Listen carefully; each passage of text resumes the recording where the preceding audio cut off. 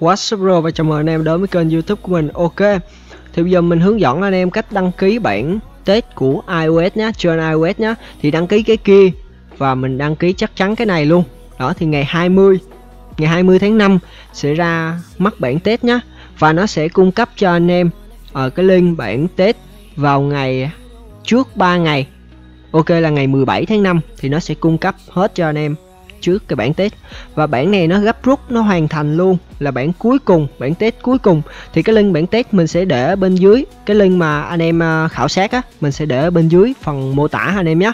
Rồi, thì cũng như bao cái ờ, bản khác, anh em cứ ờ, dịch ra và anh em trả lời cho chuẩn chuẩn anh em nhé. Trả lời chuẩn nhất. Đó, thì ở đây thì mình sẽ trả lời nhanh thôi. Đó, mình sẽ ờ, không trả lời đúng, mình sẽ trả lời nhanh cho anh em. Và vào ngày 20 tháng 5 thì nó sẽ ra mắt bản test và anh em cùng chờ xem uh, trong những tháng qua nó đã làm gì về gameplay, đồ họa và cũng như thêm huyền thoại mới.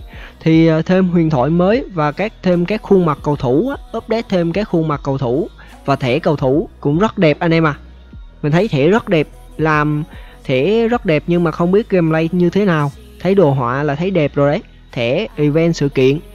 Thì nó game này á nó kết hợp giữa FIFA và PES luôn. Nhưng mà gameplay á thì ờ, cái mấy bản trước á thì nó, mình thấy không hay.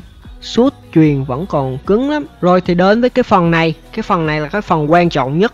Anh em điền cái kiểu điện thoại của mình vô. Mình đang xài iphone mấy ấy. Đó. Và cái ở dưới là cái địa chỉ email.